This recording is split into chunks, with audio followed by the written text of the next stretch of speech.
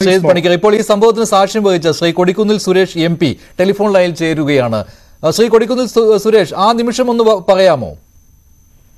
അല്ല ആ നിമിഷം ഞാൻ സഭയ്ക്കകത്തുണ്ട്. ഞങ്ങൾ ലോബിയിൽ അതായത് ഞങ്ങൾ കേരളം എന്നുള്ള യു ഡി എഫ് എം പിമാര് ധനകാര്യ വകുപ്പ് മന്ത്രിയായിരുന്ന ധനകാര്യ വകുപ്പ് മന്ത്രി നിർമ്മലാ സീതാരാമന് കേരളത്തിലെ സാമ്പത്തിക പ്രതിസന്ധിയുമായി ബന്ധപ്പെട്ട് മെമ്മോറണ്ടം കൊടുത്തിട്ട് മടങ്ങി വരുന്ന വഴിക്ക് ഞങ്ങൾ അതിന്റെ ഏതാണ്ട് ലോബിയിലെത്തുമ്പോഴാണ് ഈ സെക്യൂരിറ്റി ലോക്സഭയിലെ സെക്യൂരിറ്റിക്കാർ ഇങ്ങനെ ഓടി വരുന്നത് കണ്ടു അപ്പോൾ എന്തോ പന്തികേട് തോന്നി ഞങ്ങൾ പെട്ടെന്ന് അകത്തേക്ക് കയറിയപ്പോഴേ അവിടെ ഒരു മഞ്ഞ പുക വ്യാപകമായി ആ സഭയ്ക്കകത്ത് കാണുന്നു.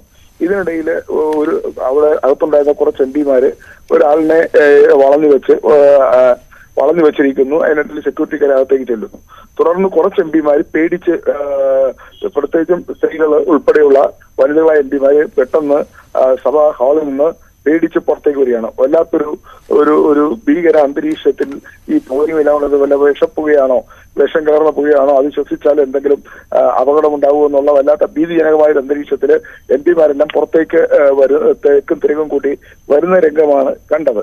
ഇതാണ് അത് സംഭവിച്ചത് ഞങ്ങൾക്ക് കാണാൻ കഴിഞ്ഞത്. അത് അവസാനം ഞങ്ങളോട് അങ്ങോട്ട് അകത്ത് കയറുന്നതിനെ തടസ്സപ്പെടുത്തി ഞങ്ങളെ പുറത്തോട്ട് പോകാൻ പറയുകയാണ് ചെയ്തത്. പക്ഷെ പിന്നീടാണ് ഈ കാര്യങ്ങളെല്ലാം അറിയുന്നത് ഇത് ഈ മഞ്ഞ പുക അവിടെ ഉണ്ടായത് എങ്ങനെയാണെന്നും ഈ സെക്യൂരിറ്റിക്കാരെ കണ്ണുവെട്ടിച്ചുകൊണ്ട് ഗാലറിയിൽ നിന്ന് എടുത്ത് ചാടി.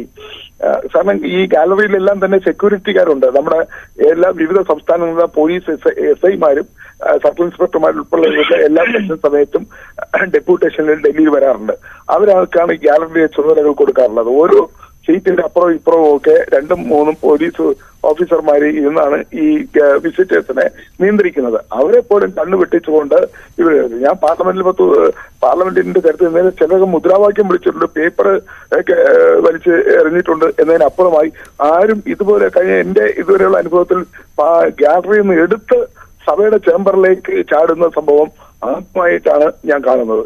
ഇത് അതീവ സുരക്ഷ വീഴ്ച തന്നെയാണെന്നുള്ള കാര്യത്തിൽ ആ ഒരു സംശയമില്ല തീർച്ചയായും ഇപ്പൊ പുതിയ പാർലമെന്റ് മന്ദിരം വന്നതിന് ശേഷം നേരത്തെ പഴയ പാർലമെന്റ് മന്ദിരത്തിലാണെങ്കിൽ രാജ്യസഭ എം പിമാർക്ക് പോകാൻ പ്രത്യേക ഗേറ്റ് ലോക്സഭ എം പിമാർക്ക് പോകാൻ പ്രത്യേക ഗേറ്റ് പ്രധാനമന്ത്രിക്ക് വരാൻ പ്രത്യേക ഗേറ്റ് ഉപരാഷ്ട്രപതിക്ക് സഭയ്ക്കകത്ത് കയറാൻ പ്രത്യേക ഗേറ്റ് ഇങ്ങനെയുള്ള വിവിധങ്ങളായി ഗേറ്റ് ഇപ്പോഴത്തെ പുതിയ പാർലമെന്റിൽ രാജ്യസഭ ലോക്സഭ ഗേറ്റ് ഒരുമിച്ചാണ് മാധ്യമ പ്രവർത്തകർ കയറുന്നത് ഒരുമിച്ചാണ് അതുപോലെ തന്നെ വിസിറ്റേഴ്സ് വരുന്നവർ ഉദ്യോഗസ്ഥന്മാർ ഇവരെല്ലാം കൂടി. അപ്പൊ പാർലമെന്റ് പുതിയ പാർലമെന്റ് മന്ദിരത്തിന്റെ പ്രധാന ഗേറ്റിൽ എപ്പോഴും ഒരു ആയിരം ആയിരത്തി അഞ്ഞൂറ് പേര് അതിന് പ്രധാന ഗേറ്റിന്റെ മുന്നിൽ ഇങ്ങനെ കൂട്ടം കൂടി നിൽക്കുകയാണ്.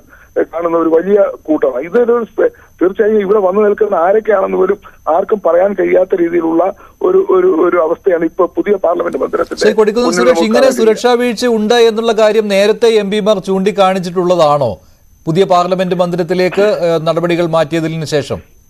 അല്ല, പുതിയ പാർലമെന്റ് വന്ന എം പിമാർക്ക് പോലും കയറാൻ കഴിയാത്ത തരത്തിലുള്ള തിക്കും തിരക്കുമാണുള്ളത്. കാരണം എന്ന് വെച്ചാൽ ഞാൻ നേരത്തെ പറഞ്ഞ വിഭാഗത്തിൽപ്പെട്ടവരെല്ലാം കൂടി ഒരുമിച്ച് അവിടെ വരിക. പിന്നെ പത്ത് മാധ്യമങ്ങൾ വിവിധ ചാനലുകൾ ആ, മാധ്യമ റിപ്പോർട്ടർമാര് അതുപോലെ തന്നെ വിവിധ രാഷ്ട്രീയ പാർട്ടികളുടെ ഈ നേതാക്കന്മാര് എല്ലാവരും അവിടെ ആണ് വന്ന് നിൽക്കുന്നത്. അപ്പൊ അതുമൂലം ഉണ്ടാകുന്ന ഒരു ക്രൗഡ് തീർച്ചയായും നിയന്ത്രിക്കാൻ പറ്റാത്ത ഒരു ക്രൗഡാണ് അവിടെ വരുന്നത്. ആ അത് തന്നെ ഒരു സെക്യൂരിറ്റി ലാപ്സ് ആണ്. അല്ലെങ്കിൽ ഒരു സെക്യൂരിറ്റിയുടെ വലിയൊരു പ്രശ്നം തന്നെയാണ് നമുക്ക് കാണാൻ കഴിയുക എന്നുള്ളതാണ്. ഈ സമയത്ത് തന്നെ ഈ ഖലിസ്ഥാൻ ഭീഷണി ഉണ്ടായിരുന്നുവല്ലോ. പാർലമെന്റിനെ തന്നെ ആക്രമിക്കും എന്നുള്ള രീതിയിലായിരുന്നല്ലോ അങ്ങനെ ഒരു ഭീഷണി. അതുപോലെ തന്നെ രണ്ടായിരത്തി ഒന്നിലെ പാർലമെന്റ് ആക്രമണത്തിന്റെ വാർഷിക ദിനം കൂടിയാണ്.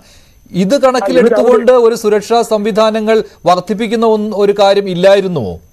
ഇന്ന് രാവിലെ പാർലമെന്റ് പഴയ മന്ദിരത്തിൽ വെടിവെയ്പ് നടന്ന് ആറ് സി ആർ പി ജവാന്മാർ മരിച്ച അവർക്ക് ആദരാഞ്ജലി അർപ്പിച്ചുകൊണ്ടുള്ള പുഷ്പാർജനം മറ്റും ഉണ്ടായിരുന്നു. പ്രധാനമന്ത്രിയും ഉപരാഷ്ട്രപതിയും അതുപോലെ തന്നെ സോണിയാഗാന്ധി മല്ലികാർജുൻ ഖാർഗെ ഉൾപ്പെടെയുള്ള പ്രതിപക്ഷ നേതാക്കൾ ഉൾപ്പെടെയുള്ളവർ ഇന്ന് പങ്കെടുക്കുന്നതാണ്.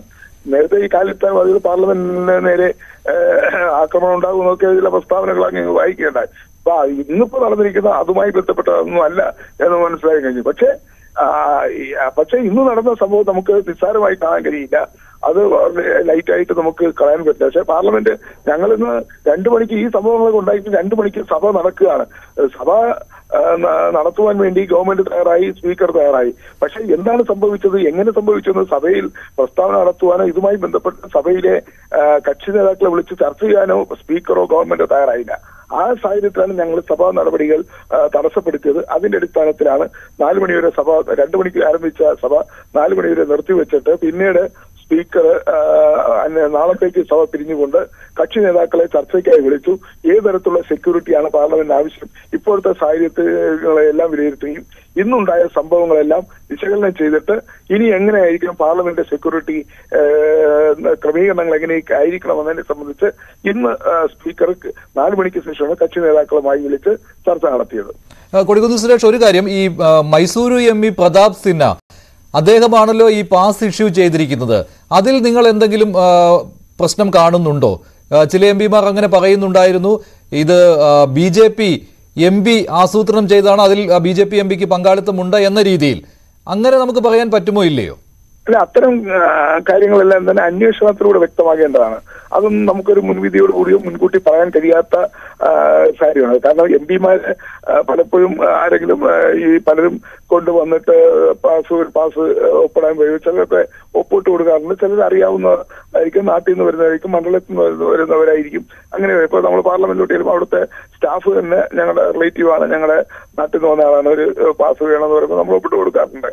പക്ഷെ ഇങ്ങനെ ഏത് തരത്തിലാണ് ഈ എം പിയുടെ അടുത്ത് ഈ പാസിന് വന്നത്? അത് ഈ എം പിയുമായിട്ട് അവർക്കുള്ള ബന്ധം എന്താണ്? ഈ എം ഈ അതായത് മൈസൂർ കൊടക് എം പി ആയ പ്രതാപ് സിംഗ് പ്രതാപ് സിംഗ് സിംഗ എന്ന് പറയുന്ന ചെറുപ്പക്കാരനായ എം പി ആണ് പുതിയ ആദ്യമായി പാർലമെന്റിലേക്ക് വന്നതാണ്. അദ്ദേഹം ഏത് സാഹചര്യത്തിലാണ് ആ പാസ് കൊടുത്തത് എന്നതിനെ സംബന്ധിച്ചൊക്കെ വിശദമായ അന്വേഷണം നടത്തി വ്യക്തമാക്കേണ്ടതാണ്. അങ്ങനെ ഒരു അന്വേഷണം നടക്കുമെന്നുള്ള പ്രത്യാശയുണ്ടോ? അതുപോലെ തന്നെ ഇതിനകം സ്പീക്കർ നൽകിയ വിശദീകരണം അതിൽ പ്രതിപക്ഷ എം പിമാർ തൃപ്തരാണോ? ഒരിക്കലും ഞങ്ങളെ സംബന്ധിച്ചിടത്തോളം ഞങ്ങൾ ഒരിക്കലും തൃപ്തരല്ല. കാരണം എന്ന് വെച്ചാൽ ലോക്സഭ രാജ്യസഭ ചേർന്ന പാർലമെന്റ് മന്ദിരത്തിന്റെ അതീവ സുരക്ഷാ മേഖലയിലാണ് പാർലമെന്റ് മന്ദിരം അവിടെ ഇങ്ങനെ ഒരു സാഹചര്യം ഉണ്ടായി. അതായത് ഈ മഞ്ഞ മഞ്ഞപ്പൊടി മഞ്ഞ മഞ്ഞ നിറത്തിലുള്ള ഈ ഇത് കൊണ്ട് സഭയ്ക്കകത്ത് വരാൻ എങ്ങനെ കഴിയൂ എന്നുള്ളത് ഇനി ആണ് ഏറ്റവും വലിയ പ്രശ്നം. അപ്പൊ അതുകൊണ്ട് ഇതിനകത്ത് തീർച്ചയായും ആഭ്യന്തര മന്ത്രി സഭയിൽ പ്രസ്താവന നടത്തേണ്ടതാണ്. ഇതുമായി ബന്ധപ്പെട്ട വിശദമായ അന്വേഷണം നടക്കേണ്ടതാണ്. ഇതിന്റെ പിന്നിൽ ആരെങ്കിലും പ്രവർത്തിച്ചിട്ടുണ്ടെങ്കിൽ അവരെ കണ്ടെത്തേണ്ടതാണ്. ഭാവിയിൽ അംഗങ്ങൾക്ക് സുരക്ഷ ഉറപ്പുവരുത്തുന്നതിനുള്ള കാര്യക്ഷമമായ നടപടികൾ ഉണ്ടാകേണ്ടതാണ്. അതാണ് എത്രയും പെട്ടെന്ന് ഗവൺമെന്റ് ഭാഗത്തുനിന്നും സ്പീക്കറുടെ ഭാഗത്തുനിന്നും ഉണ്ടാകേണ്ടത്. ശരി നന്ദി ശ്രീ കൊടിക്കുന്നിൽ സുരേഷ് എം പി